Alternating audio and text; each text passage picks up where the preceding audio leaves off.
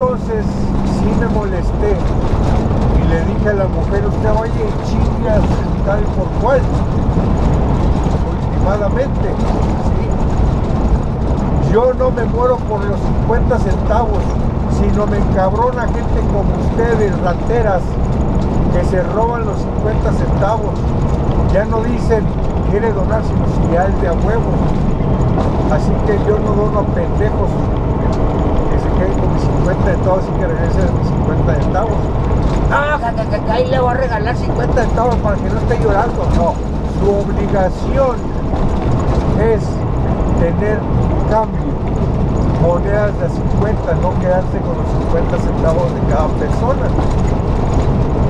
La neta, sí me ofendí y no me importó que fuera mujer. El hombre se quedó mirando, yo agarré mis cosas y me fui. A mí no me importa que sea mujer. Yo a las mujeres les digo, quieres que te respeten, respeta. A mí me hayan tirado un chingazo, yo le doy dos. Para que, para que aprenda a respetar. Así que hay, hay como la veían ustedes, pero mi problema es que yo exijo respeto. Yo doy respeto para que me respeten. Así que si no me respetan, pues aténganse a las consecuencias. Así de fácil y sencillo.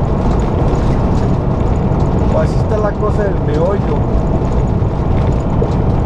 He tenido dos, tres problemas con personales de Oxxo.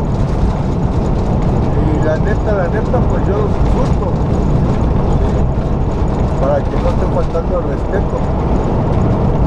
Hay aquí en Janos, el único Oxxo que hay.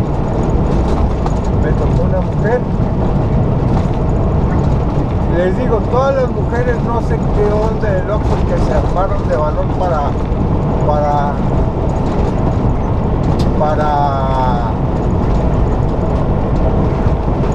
¿cómo se dice? para insultar a cualquiera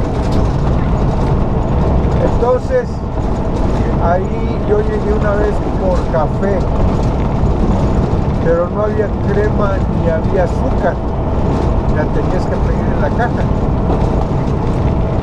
entonces yo llego y le digo, me permite tres de tres de leche y dos de azúcar. Y la mujer voltea y me grita, no, permítame que nada que estoy ocupada. Ay, cabrón, dije yo, pues qué mamadas son esas. Digo, hay formas de hablar. Hay formas de decir al cliente, me puede permitir un segundo, deje atiendo al cliente o algo, ¿no? Entonces yo le digo, mire, la obligación de usted es tener el, ca- eh, eh, eh, el azúcar y la crema cerca de donde se va a servir el café. Y que aviento la taza y me salgo. Vámonos. Sí, entonces no sé si, le han pasado lo mismo ustedes. Cuéntenme sus, sus anécdotas con el, con el personal del Oxxo. ¿sí? Ahí me dicen qué les ha sucedido a ustedes. Y platícame si tú te atreves a pelear los 50 centavos o te importa regalarlos. Digo, no lo estás dando beneficio, te voy a platicar una cosa.